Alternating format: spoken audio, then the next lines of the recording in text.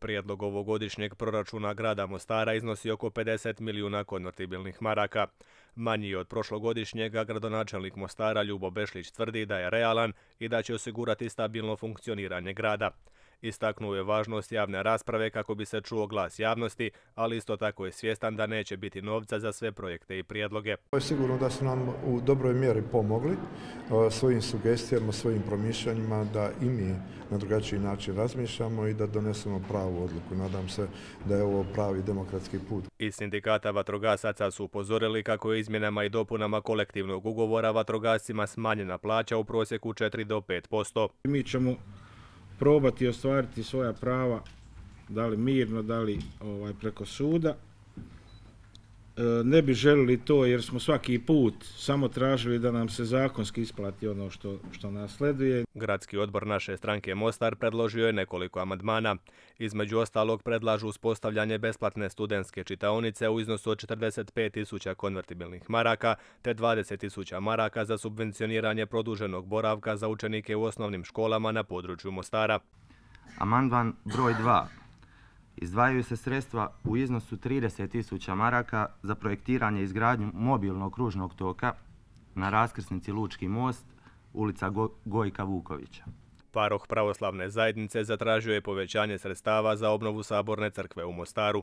Pa da značajnije e, pritisnemo i da ovaj projekat izvedemo do kraja, a onda od 2020. E, će biti saborna crkva, ako Bog da i samo će se financirati, neće biti više potrebno za obnovu saborne crkve. Maja Popovac ispred Građevinskog fakulteta Univerziteta Džemal Bijedić istaknula je problem neiskorištenih javnih površina u gradu Mostaru. Iskoristiti plohe koje su trenutno neiskorištene u gradu Mostaru za urban farming, odnosno za jedan projekat koji bi se odnosio na e, involviranje svih građana koji postoje koji, koji uopšte ovaj, e, funkcionišu u gradu Mostaru. Iz koordinacije srpskih udruga grada Mostara kao najveći problem ističu što se mnoge stavke iz proračuna ne izvršavaju. Mislim da je jako žalostna činjenica da od dva prijedloga koje su bila, ajde da kažem, značajne za srpsku populaciju grada Mostaru iz prošle godine,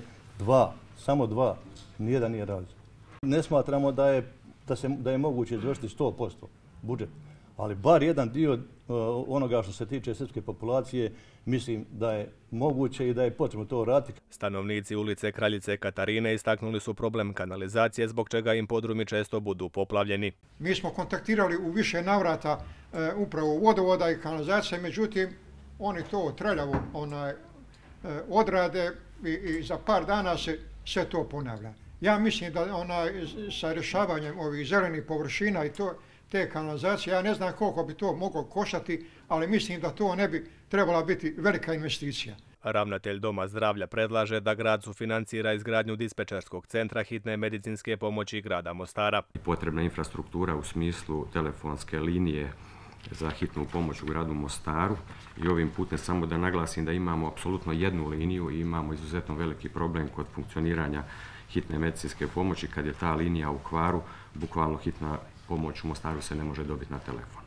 Iz Centra za prevenciju i izvanbolničko liječenje ovisnosti upozorili su na sve poteškoće s kojima su suočeni, a najveći problem je nedostatno financiranje. S ciljem stabilnosti funkcioniranja ustanove da ne stvaramo barem novi dug ako ne možemo vratiti ovaj postojeći stvoreni, jest povećanje na 80.000 konvertibilnih maraka u godini dana.